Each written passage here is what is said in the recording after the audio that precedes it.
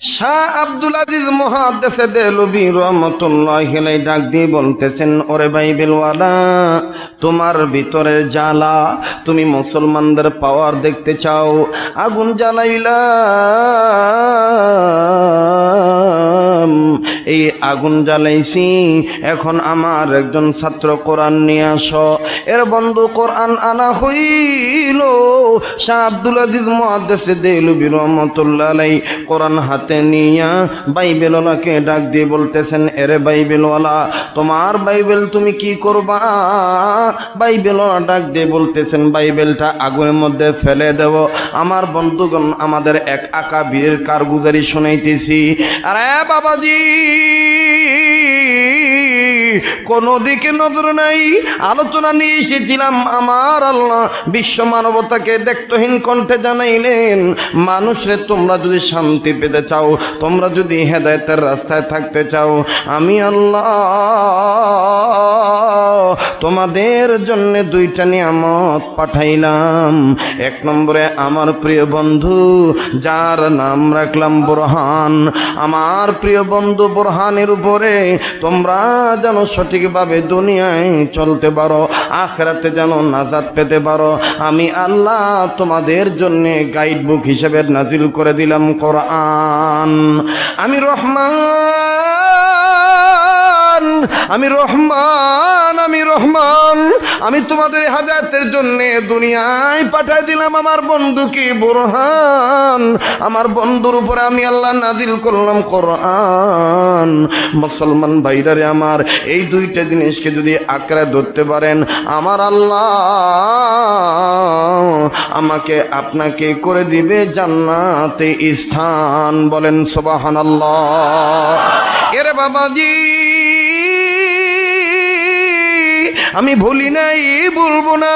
শাহ আব্দুল আজিজ মহাদ্দেশে দেলবি রহমাতুল্লাহ আলাই ডাক দিয়ে বললেন, বাইবেলওয়ালা, ও বাইবেলওয়ালা, তোমার বাইবেল তুমি কি করবা?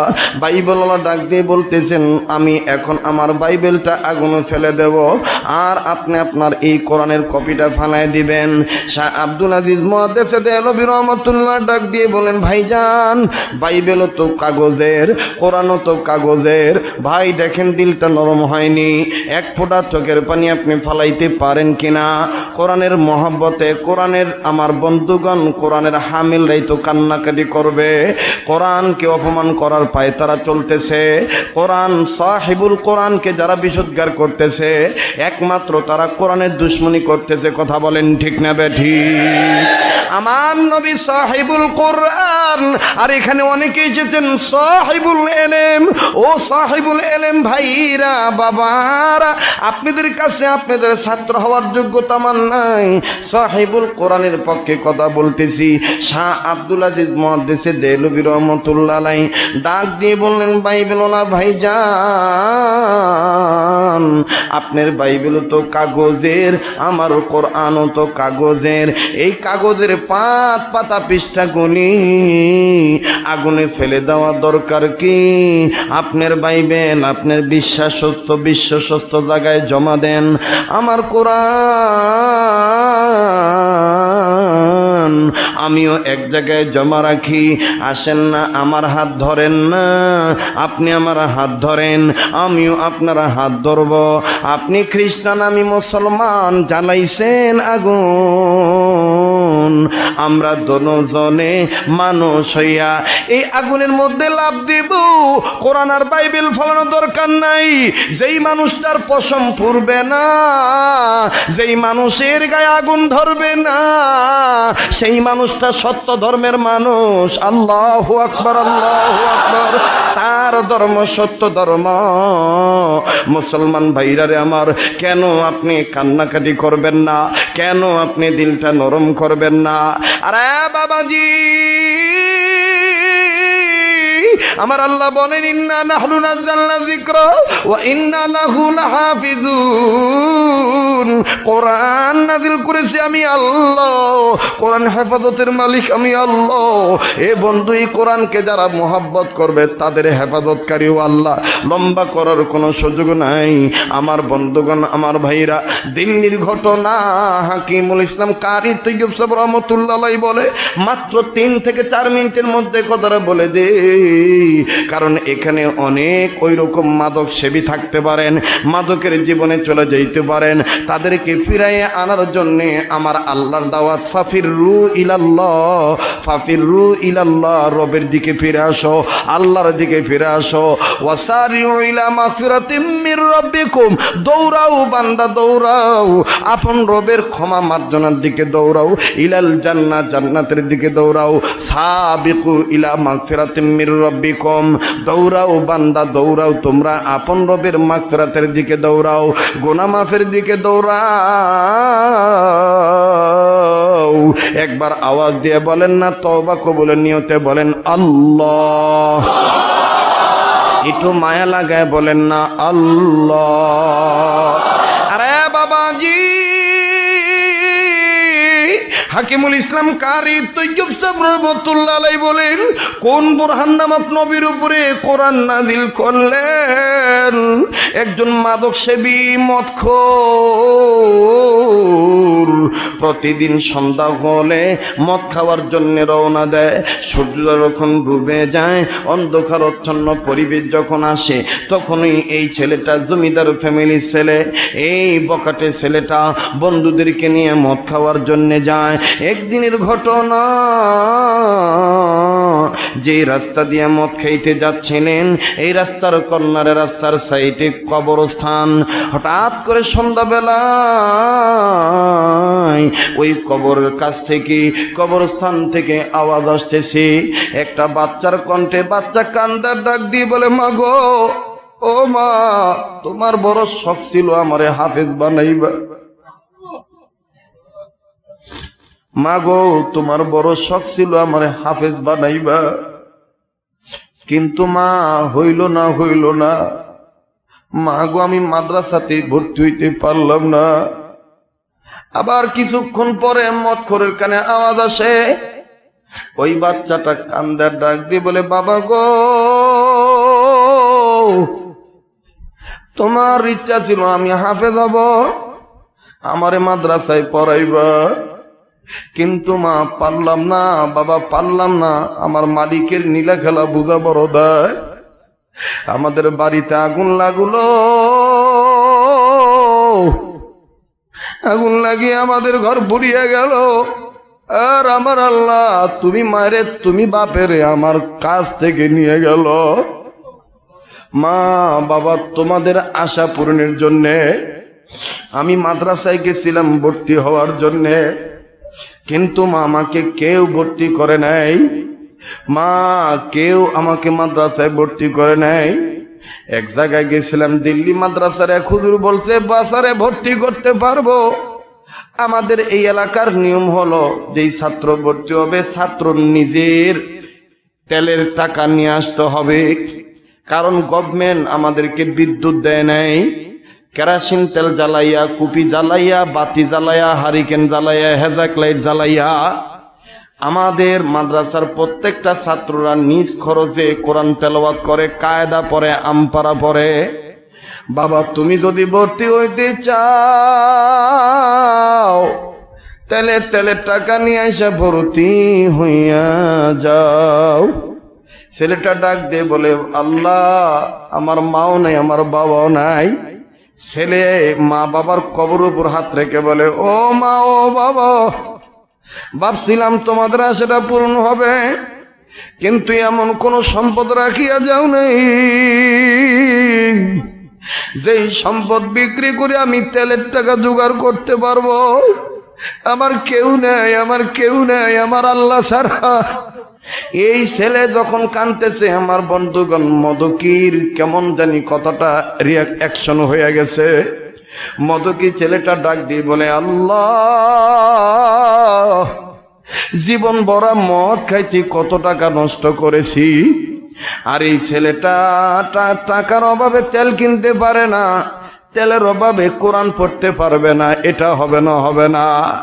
না, আমি আজকের মদের টাকা দিয়া নিজে তেল কিনে দেব, নিজে মাথায় করে নিয়া নবীর ঘর মাদ্রাসা বাচ্চাটাকে দিয়ে আসব। আমার বন্ধুগণ, আমার ভাইরা, এই মধুকি ছেলেটা নিজেই এক তেল কিনিয়া বাচ্চাটাকে বলল, ভাই, আয় আয় আয়, তুই আমার আজকে থেকে ভাই, আমি তো মদ খেয়ে টাকা নষ্ট করি, আমি তোরে ভর্তি করে দিয়ে আসি, আমার বন্ধুগণ মাদ্রাসায় দিয়ে আসি। বলে, আমি ভিতরে যাব না, এই রাত্রিতে আমি তোকে দিয়ে গেলাম, তুই আমার নাম বলিস না, সমাজের লোক আমাকে পছন্দ করে না, আমি বকাটে ছেলে, আমি মদখোর ছেলে, আমি জঘন্যতম অপরাধী। ভাই ছোট্ট ভাই, আমি তোমাকে রেখে গেলাম। এই তো তেলের কটিনটা রেখে গেলাম, তেলের জারকিনটা রেখে গেলাম। এ বন্ধু, সকালবেলা ওই রাত্রিতে সন্তানকে ভর্তি করা হইল। মাত্র দুই দিন পরে এই মতকুর ছেলেটা মারা গেল। কোরআনের সামান্য একটু মহব্বত যদি আপনার অন্তরে থাকে, আল্লাহ পাক আপনাকে মহব্বত করবে। দেখেন কেমন মহব্বত করে। এই মধুকি ছেলে যখন মারা গেল, এলাকার কোনো লোক তার লাশের কাছে যায় না। সবাই বলে, এর লাশটা জঙ্গলে ফালায় দাও শ্রীগাল দিয়ে খাওয়াও, কুকুর দিয়ে খাওয়াও। কারণ সে খুব খারাপ ছেলে ছিল। ও রহমতপুর বুড়ির যুবক বন্ধুরা, জীবনে কত গুণা করেছ? তোমার গুনার খবর আল্লাহ জানে। আমার বন্ধুরে দিল বলে, আজকের চোখের পানি আমার মাবুদ ফি- মাবুদ ফেরত দিবে না।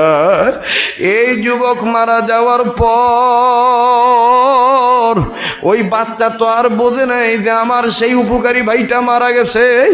ওই বাচ্চা এখনও খবর পায় নাই। আমার বন্ধুগণ মরার পরে তিন দিন হয়ে গেছে, মৃত্যুর পরে একদিন হয়ে গেছে। আগে ছিল দুই দিন, আর এখন হলো একদিন। এই তিন দিন পরে মাদ্রাসার হুজুররা ঘুমের মধ্যে স্বপ্নে দেখে, কে জানি ডাক দিয়ে বলে, "ও হুজুর, যেই বান্দাকে আপনারা ঘৃণা করে জঙ্গলে ফালায় দিছে, যারা পরিত্যক্ত অবস্থায় লাশটা ফালায় দিছে।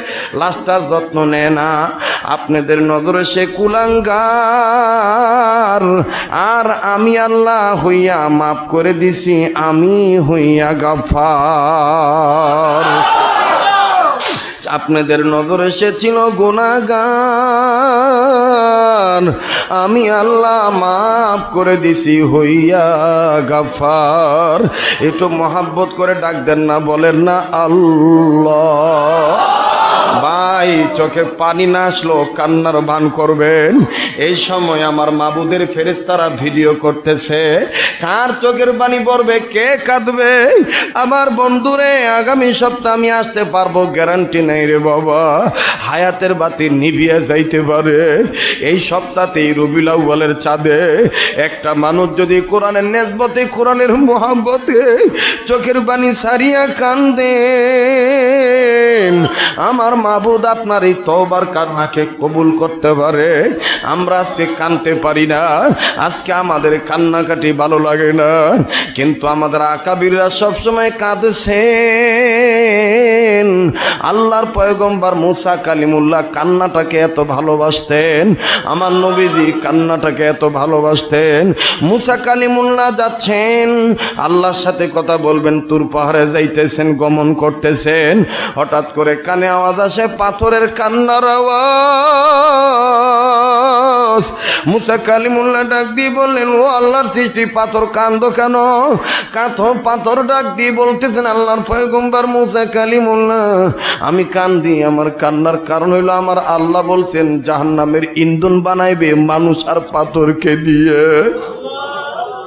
যেই জাহান্নামের আগুনের তেজ বাড়ানো হয়েছে এক হাজার বছর জ্বালাইয়া এক হাজার বছরের জাহান নামের আগুন জ্বালানোর পরে আমার আল্লাহ বলছেন, আরও জ্বালাও আরও জ্বালাও আরও জ্বালাও।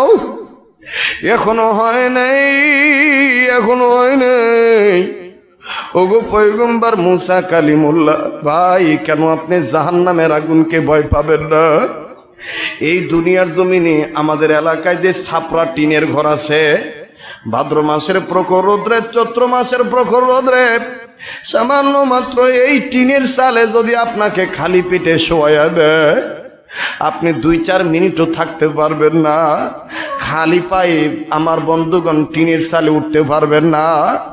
আমার বন্ধুগণ কিন্তু এই জাহান নামের আগুন।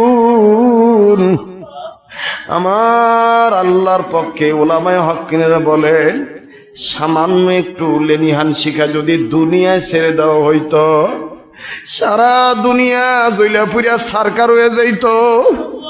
সারা সারা দুনিয়া দলিয়া পুরিয়া সারকার হয়ে যাইত। ওই জাহান নামকে কেন আপনি ভয় পান না? আল্লাহ পাক নিজেই বলছেন, ইয়া আইয়ুহান্নাস ইয়া আইয়ুহাল্লাযীনা আমানু কু আনফুসাকুম ওয়া আহলিকুম নার ভাই প্লিজ দিলটা নরম করিয়া দেন। মুসা কালিমুল্লাহকে পাথর ডাক দিয়ে বলতেছেন, ওগো আল্লাহর আল্লাহ বলছেন, আমি আমাকে জাহান্নামের আগুনের ইন্ধন বানাইবে, লাকড়ি বানাইবে, মানুষ যারা পাথরকে দিয়া আমি কেমনই জাহান্নামের আগুনের তাপ সহ্য করব?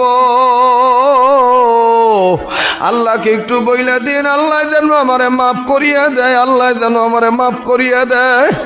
আমার বন্ধুগণ, আমার বাইরে মুসা কালিমুল্লাহ চলে গেলেন তুর পাহাড়ে। আমার মাবুদকে ডাক দিয়ে বললেন, আল্লাহ, পাথর আমার কাছে আরজি জানাইছে, দরখাস্ত পেশ করেছে। মাবুদ গো, আপনি পাথরকে মাফ করে দিবেন গো আল্লাহ। পাথরের কান্না যেন বন্ধ হইয়া যায়। আল্লাহ বললেন, পয়গম্বর মুসা কালিমুল্লাহ, তুমি পাথরকে বলে দিও, আমি পাথরকে মাফ করে দিছি। পয়গম্বর মুসা কালিমুল্লাহ, সে বললেন, পাথরে, আমার আল্লাহ তোমারে মাফ করে দিছে।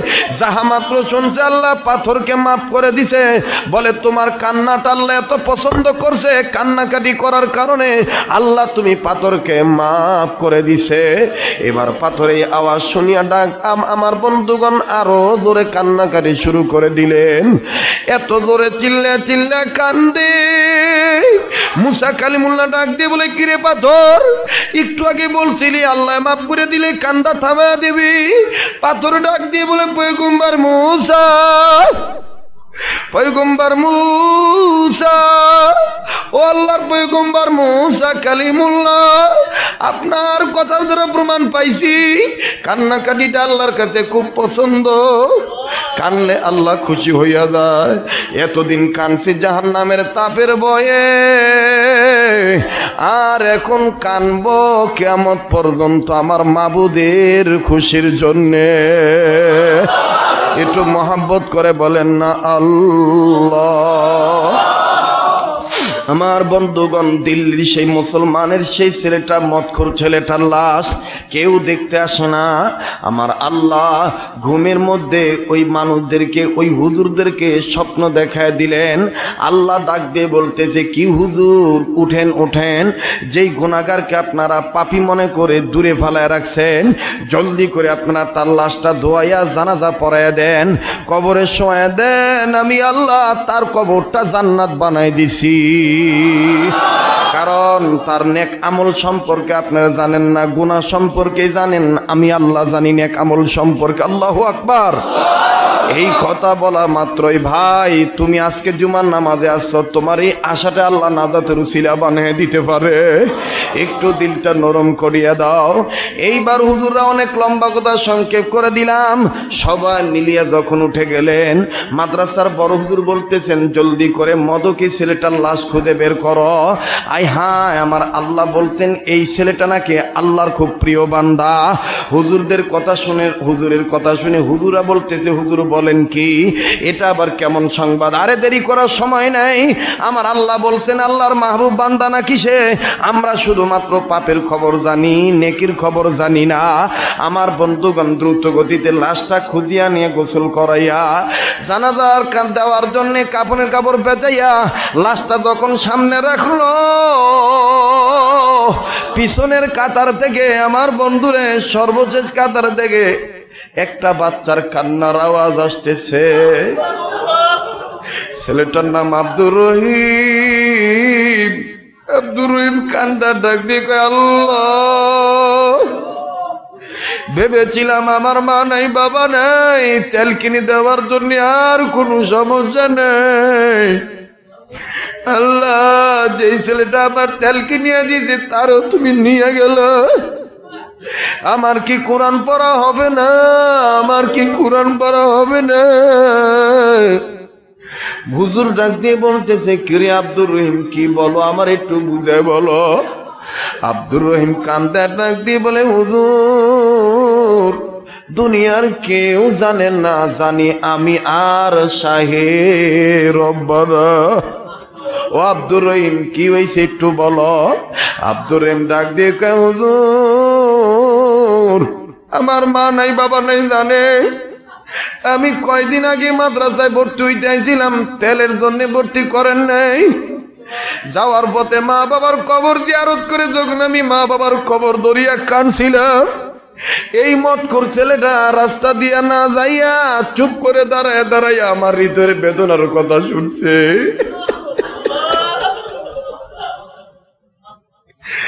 এই মত কর ছেলেটা দাঁড়াই আসিল আমি যতক্ষণ কবরে কানছি ততক্ষণ আমার এই ভাইটা দাঁড়ায় ছিল এক পর্যায়ে কান্নাকাটি যেছে আমি বাইর হওয়ার পরে আমার ভাইটা আমারে জড়ায় ধরে বলে, তুমিও মুসলমান, আমিও মুসলমান। আমার জীবনে আমি অনেক পাপ করছি, মদের পিছনে টাকা নষ্ট করছি। এই তোমার মাথায় হাত রেখে বললাম, আর মদ খাব না। আমি আমার এই টাকা দিয়া তোমার জন্যে তেলওয়াত করার ব্যবস্থা করে দেব। আমি তোমাকে নিজেই তেল কিনে দিচ্ছি, নিজেই তেলের এই জারকিনটা মাথায় নিয়ে আমি মাদ্রাসায় নিয়ে যাব। আমি বলছিলাম, ভাই, আপনি গার্জেনে আমাকে ভর্তি করে দিয়ে যান। তখন বলছিল, আমি পাপি। আমারে তো কেউ দেখতে পারে না। যাই ভাই, আমি তেল দিয়ে চলিয়া গেল। আবার বাইরে, আমিও পাপি, তোমরা তো অনেক ভালো মানুষ। আমার হাতে গুণা আমার পায়ে গুণা আমার মুখে গুণা গুনার জন্য আল্লাহর কাছে মাপ চাই। একটু মোহাব্বত করে বলেন না, আল্লাহ। আল্লাহ আল্লাহ। একটু ডাক দেন না, আল্লাহ। এই সময় দোয়া কবুলের সময় তবা নিয়তে বলেন না, মূর্খ আমি না দান আমি আমি গুনাগার। দয়া করে আমার গুণা মাফ কইরা দাও তোমার নাম গাফার। আল্লাহ, ডাক দেন না। আল্লাহ আল্লাহ। আল্লাহ দেখো কেমনে আলেমরা কান্দে। আল্লাহ, এখানে অনেক মুসাফির আছে, যাদের কান্না তুমি কবুল করবা। কেউ সিরাজগঞ্জ থেকে আসছে কেউ পাবনা থেকে আসছে কেউ মানিকগঞ্জ থেকে আসছে কেউ সিলেট থেকে আসছে কেউ সিং থেকে আসছে মাবুদরে কেউ নেত্রকোনা থেকে আসছে মুসাফিরদের দোয়া তুমি ফেরত দিবা না, আমি জানি। এদের সাথে আমাদেরকেও কবুল করে নাও। একটু মায়া লাগা বলেন না আল্লাহ। আবার বলেন না আল্লাহ। আমার বাইরা আমার বন্ধুগণ, এই আব্দুর রহিম কান্দের ডেক দিয়ে বলে, হুজুর আপনারা শুধু তার পাপের খবর জানেন, আর আমার কাছে শোনেন তার নেকির খবর। এইবার মাদ্রাসার হুজুররা চিৎকার মেরে ডাক দিয়ে কয়, আল্লাহ, আসলে তোমার নাম রহমান আসলে তোমার নাম রহমান। তুমি যে নাজিল করেছ কোরআন, যার উপর নাজিল করেছ তার নাম বোরহান। তুমি যে বলছো, এই কোরআন আর এই বোরহানকে কেউ যদি মোহাব্বত করে, তুমি এই উসিলা তাকে মাফ করে দিবা। আল্লাহ, এখন বুঝতে পারলাম, এই মদকি ছেলেটাকে তুমি কোরআনের কারণে মাফ করিয়া মোহাব্বত করেছ। ভাই আল্লম্বা করতে চাই না। শাহ আব্দুল আজিজ মহাদ্দেশে দেলবি রহমতুল্লাহ আলাই কোরআনের মোহাব্বত নিয়ে বললেন, দাদা আপনি আমার হাত ধরেন, আমি আপনার হাত ধরি। আসেন আমরা দুইজন মিলে আগুনে লাভ দেই। যে পুড়ে যাবে সে তার ধর্ম মিথ্যা, যে পুরবে না তার ধর্ম সত্য। বাইবেল ডাক দিয়ে হুজুর মাপ চাই আমি ভাবছিলাম কোরআনওয়ালাদেরকে ঠকাইতে পারব, কিন্তু আপনারা যে হেকমতপূর্ণ জ্ঞানী মানুষ, আমার বন্ধুগণ আল্লাহ বলেন, ইয়াসিন ওয়াল কোরআনুল হাকিম। ওগনবীজি আপনার উপর যে কোরআন নাজিল করছি, এটা হেকমতে ভরপুর। জ্ঞানে পরিপূর্ণ। এবার এই বাইবেলরা ডাক দিয়ে ক হুজুর, আসলে আপনারা জ্ঞানী মানুষ? কোরআনের হামেল যারা, তারা জ্ঞানী মানুষ? ও হুজুর, আমি চালাকি করেছিলাম। বলে, কি চালাকি? বলে, আমি এই জায়গায় আসার আগে আমাদের ইংল্যান্ডে, আমেরিকার জমিনে একটা মেডিসিন আবিষ্কার হয়েছে এই মেডিসিনটা এই মেডিসিনটা কাগজে লাগাইলে মেডিসিন যুক্ত কাগজ আগুনে ধরলে আগুন লাগবে না, আগুনে কাগজটা পড়বে না। ও হুজুর। আমি বাইবেলের পাতায় পাতায়, পৃষ্ঠায় পৃষ্ঠায় এক মাস যাবত আমি এই মেডিসিনটা লাগাইয়া আপনাদের মুসলমানদেরকে ঠকাবার জন্যে আমি বাইবেলের পৃষ্ঠায় পৃষ্ঠায় মেডিসিন লাগাইছি। হুজুর, আমি তো গায়ে লাগাই নাই। আপনি কি গায়ে লাগাইছেন নাকি? শাহ আব্দুল আজিজ মহাদেশে দেলবি রহমতুল্লাহ ডাক দিয়ে বললেন, এরে নাদান, এরে জাহেল এরে জাহেল, এরে নাদান। আমরা যারা কোরআনের হামেল, আমরা যারা কোরআনের ওয়ারিস আমরা যারা সাহেবুল, আমরা যারা সাহেবুল এলেম, আমরা যারা মুসলমান, আমরা যারা আহলুল্লাহর সাগরেদ, আমরা মেডিসিন কোথাও লাগাই নাই।